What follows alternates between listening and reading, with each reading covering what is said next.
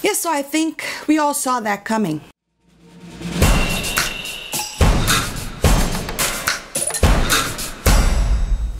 What's up everybody? Today I wanted to talk about Star Wars. It has been a while since I made a Star Wars video, but uh, something came up and I really think this is worth talking about. And now Mark Hamill seems to really confirm that Luke Skywalker will indeed be returning as a Force Ghost. And um, this is an interview that he gave to the Associate Press. And I'm gonna say something.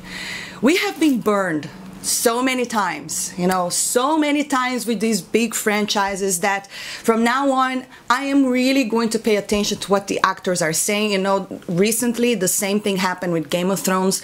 A lot of the actors before the, the season even came out were kind of hinting that it wasn't going to be great, you know. Uh, Kit Harington said it was very disappointing. Emilia Clarke was like, mm, you know, all of these hints. And the little fan heart inside of me always hopes for the best. And I'm in the same situation with Star Wars. If you watch my latest um, reaction to the teaser trailer, I'm a I'm a die-hard Star Wars fan. I love this franchise.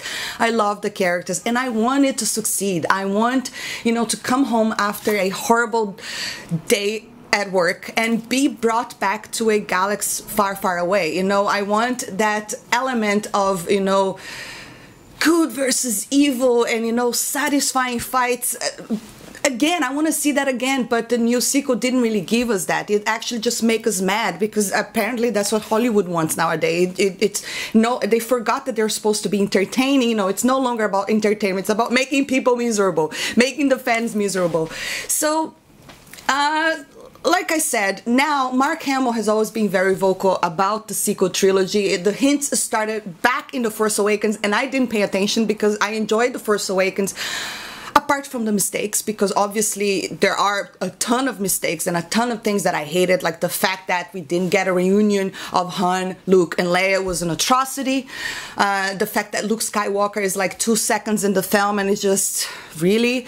Uh, the fact that, you know, Rey is able to beat a Sith Lord, all of these little things, but at the same time, I understood what J.J. Abrams were trying to do, you know, playing with the nostalgia and trying to introduce the new characters, and somewhat I was satisfied. I was still saying, okay, let's go The Last Jedi. Then after The Last Jedi, it's where I where I really think that uh, the, it broke Star Wars completely. It really sacrificed the story for politics' sake, you know, uh, putting these characters that no one care about and forgetting about the beloved characters, uh, you know, and giving them a satisfying ending. We didn't even hear about a funeral for Han. No one even mentions him.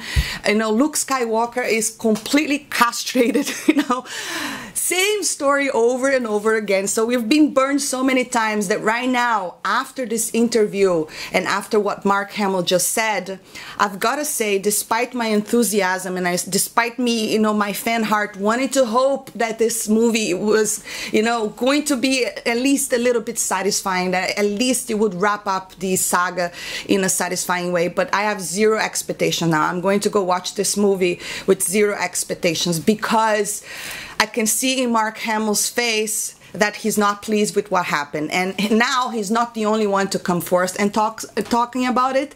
Also John Boyega who plays Finn talked about it. And I'm like oh my god this is definitely not looking good and I'm worried. I was like, what are they actually doing? You know, if Mark Hamill, that is the guy that has been involved with this franchise for 40 years, he's been Luke Skywalker his entire life.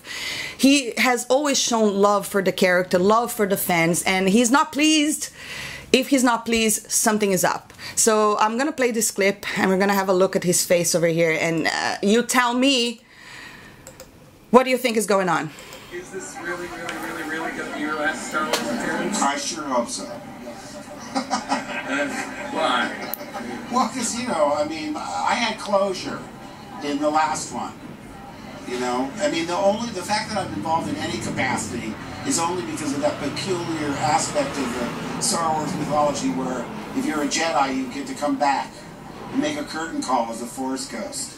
Okay, so that is pretty much the confirmation that he's only returning as a Force Ghost. And I would go even further and say that he's just going to be kind of a supporting actor.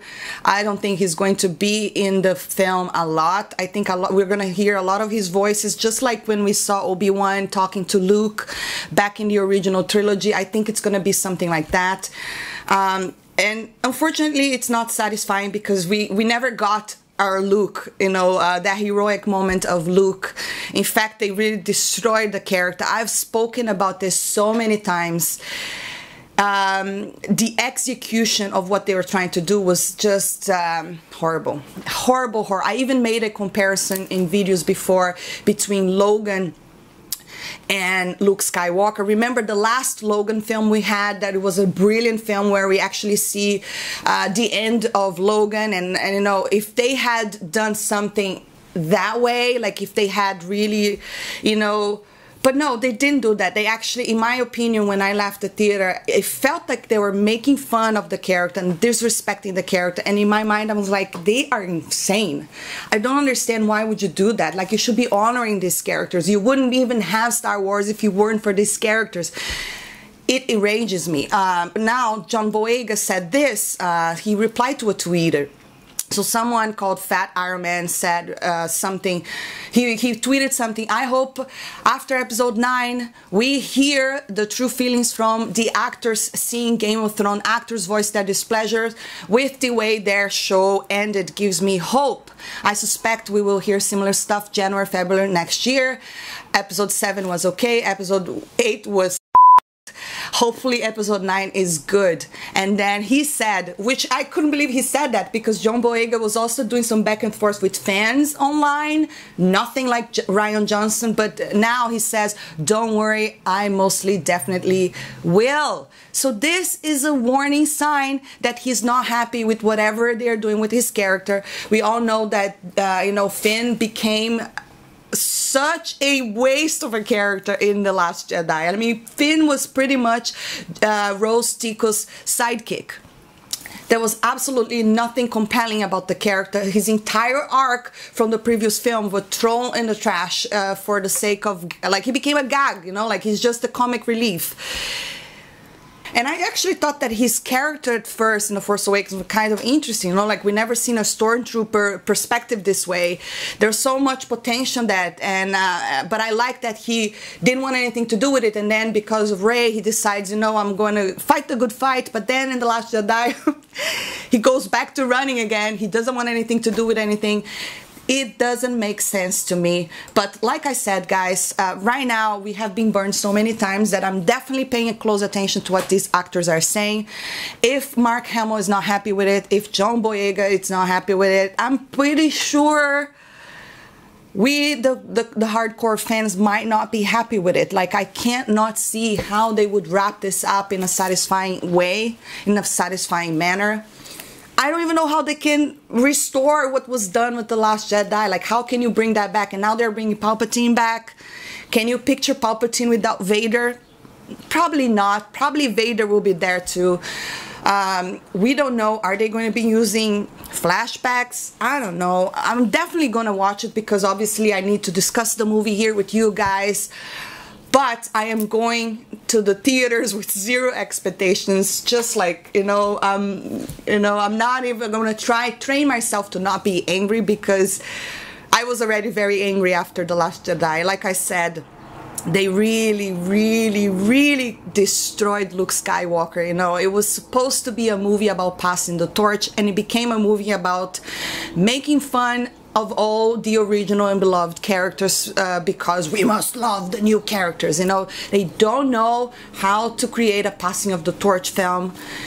It's just sad you know? It's just sad. I think even daisy ridley herself uh, shows some displeasure with the things that happen in the um, in the sequel trilogy but i'm very curious to see what are all these actors are going to be saying going forward forward you know after the movie comes out Uh, and I love Mark Hamill, and I don't think this in this particular video he's trolling us. I think he's being he's he's you could tell on his face reaction that he's uh, he's definitely not pleased.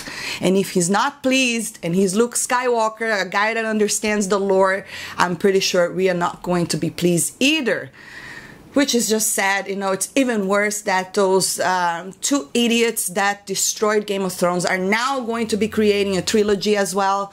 I mean, can you even have any hope for Star Wars? Uh, so I would like to ask you a question. You know, if you want to describe what does it mean to be a Star Wars fan in one word down in the comments below, I would love to hear that because for me, the description is in one word, painful.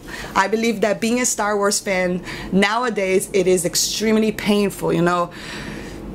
All you have to do is kind of ignore all of this sequel trilogy, pretend it's not canon. That's what it's in my mind. Like The Last Jedi, it's not canon for me, you know. It ended with the George Lucas films. I can't, I just, I can't take these films serious. I just can't, you know.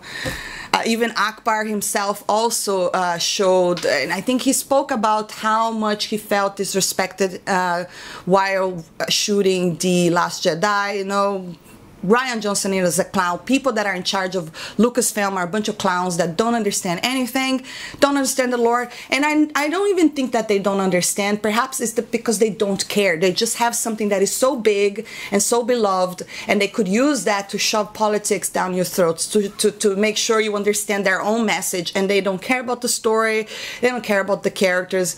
Pfft whatever man. Anyways guys drop your comments below. I'd love to hear your thoughts on all of, all of this. If you enjoyed this video don't forget to hit that thumbs up. Subscribe for more and I'll see you next time. Bye